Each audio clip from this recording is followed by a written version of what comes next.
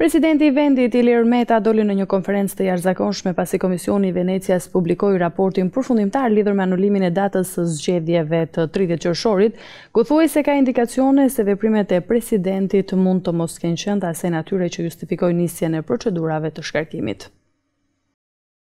Zëdhënësi i presidentit Tedi Blushi ka dalë në një deklaratë për mediat në lidhje me vendimin final të Komisionit të Venecias. Ai tha se kreu i shtetit Ilir Meta nuk ka shkelur kushtetutën me anulimin e zgjedhjeve të 30 qershorit. Ai u shpreh se mazhoranca ka mashtruar me raportin përfundimtar të Komisionit të Venecias duke mos shpërndarë dokumentin origjinal. Sipas tij, diferenca mes dy dokumenteve është shumë e qartë. Pari duhet të bëj me dije një fakt të pakundërshtueshëm dhe lehtësisht të verifikueshëm, Që nxjerr në dritë, para të gjithë shqiptarëve dhe para të gjithë opinionit publik, pacipësinë dhe pafytyrësinë e lolove të Rilindjes dhe famozit Tao Tao, që mashtrojnë dhe ndajnë në media, gjoja në emër të Komisionit të Venecias, raporte dhe konkluzione të pavërteta.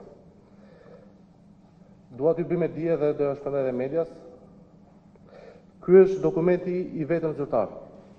i publikuar sot nga Këshilli i Evropës në lidhje me konkluzionet e raportit final të Komisionit të Venecias, ndërsa ky këtu është dokumenti që Tao Tao ka shpërndarë sot në media si me email, me SMS apo dhe me titra. Mund t'i verifikoni dhe vetë në dispozicion. Ky dokument, pra i Tao Taos, përhap lajmin e gënjeshtërt, se sipas Venecias, presidenti nuk mund të anulojë zgjedhjet. Ndërkohë, sipas deklaratës zyrtare për shtyp, të bërë publike edhe në faqen zyrtare të Këshillit të Evropës, që është kjo deklarata këtu, integritetin e Komisionit të Venecias nga të gjithë lolot e rilindjes dhe të shtetit të propagandës.